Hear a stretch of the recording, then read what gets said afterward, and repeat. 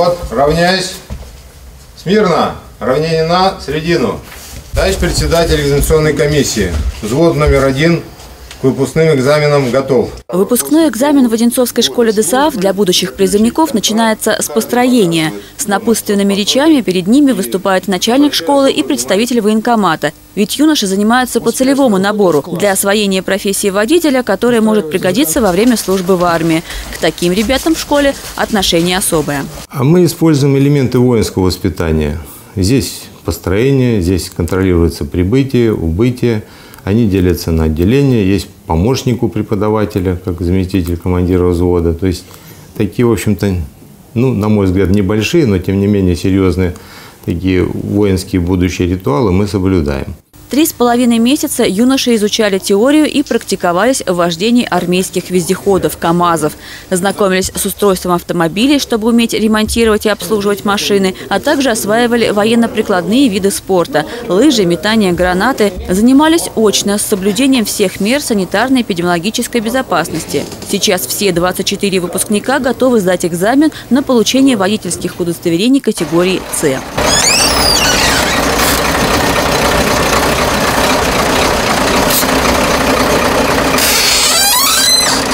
Артуру 18. Он мечтал стать военным с 8 класса. Окончив школу, решил пойти в армию, а затем поступить в Дальневосточное высшее общевойсковое командное училище. Положительные характеристики и успешное прохождение медкомиссии позволили ему пойти в автошколу. Молодой человек обучается на две категории – С и Б. Пока все получается. Ну, естественно, по габаритам отличаются, а достаточно непривычно.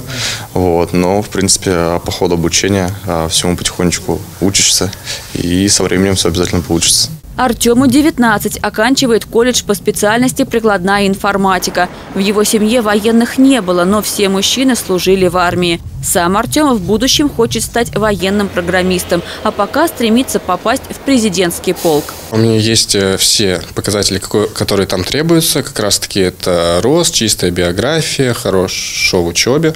Вот, и никаких наколок, ничего. Вот, полностью подхожу. Ребята сдают теорию и практику, упражнения на площадке. Виртуозно проезжают змейку, маневрируют в ограниченном пространстве, аккуратно заезжают задним ходом в гараж и уверенно совершают параллельную парковку. Из-за погодных условий небольшие задержки возникают лишь на подъеме после остановки на эстакаде.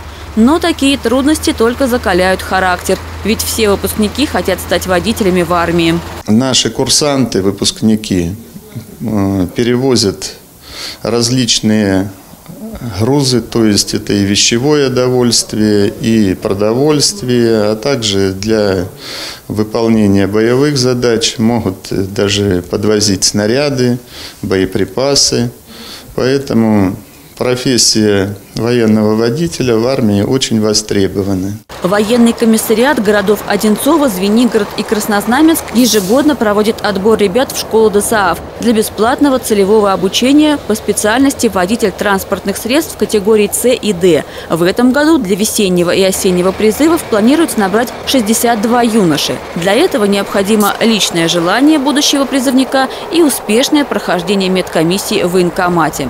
Сейчас идет набор в следующую группу. Наталья Гончарова, Станислав Трифонов, телекомпания «Одинцова».